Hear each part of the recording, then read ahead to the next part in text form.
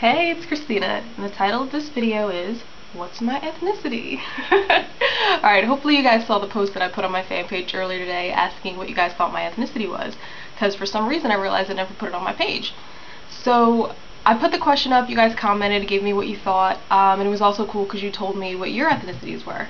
Um, so I figured it'd be more fun to show you guys what my ethnicity is instead of telling you guys and having people click like and all that stuff. So I figured I'd make a video. So I'm not going to tell you yet, but I will tell you that I'm mixed, which is pretty much what most people guess. So I'm going to show you a picture of my parents, alright? And then you guys are going to see what I'm mixed with. Ready? Here it comes.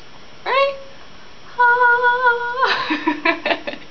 Alright, that's my mom and dad. This is a really old picture of them, and I'm not sure how focused it is right now, so I'm sorry if it sucks. But, um, yeah, my mom is mostly German. Her side of the family is Swiss German. And my dad's mostly black. His side of the family's Black Cherokee from Georgia. Um, and my mom originally was born in Kentucky, actually, and then moved around down the south because her parents were both missionaries. Ended up, ended up, excuse me, I can't speak. Ended up in Lancaster County. Um, so my dad was born in Philly, even though his family's from Georgia, and my mom ended up in Lancaster County and then moved to Philly. And then boom, they met and I was born. Here's another picture of them, which is way older. I want to say this is sometime in the 90s, judging by my mom's crazy curly perm. I don't know if you can see it. Um, but yeah, so that's my parents. Um, so most of you guys guessed that I was mixing black with black and white, so good job, I applaud you guys. um, so yeah, I just figured it'd be more fun to show you. So something else I want to show you real quick before I go is um, pictures that I found of me when I was little, when I was looking through these family photo albums. Alright, I'm gonna go what I think is age order, because a couple of these don't have dates in them. But um, I gotta tell you, I gotta warn you first, right? I had an afro when I was a child. I mean, afro. like my skin was white as porcelain and my hair was big and puffy. I don't know. I don't understand what happened.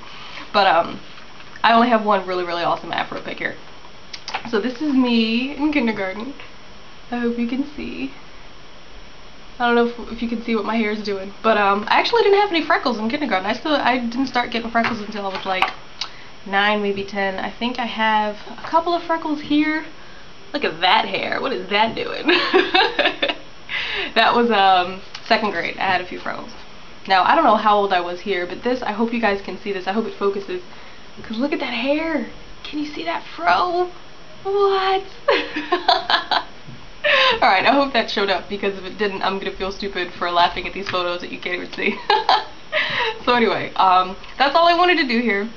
So now what I want you guys to do for me is comment under here and tell me what your ethnicity is because I find that really fascinating. I think when people are mixed and they come from different backgrounds, you kind of have a view of multiple backgrounds, so it makes you more sensitive to it and more interested in it. So I love hearing what people are mixed with or where your family came from or where you grew up and, you know, stuff like that.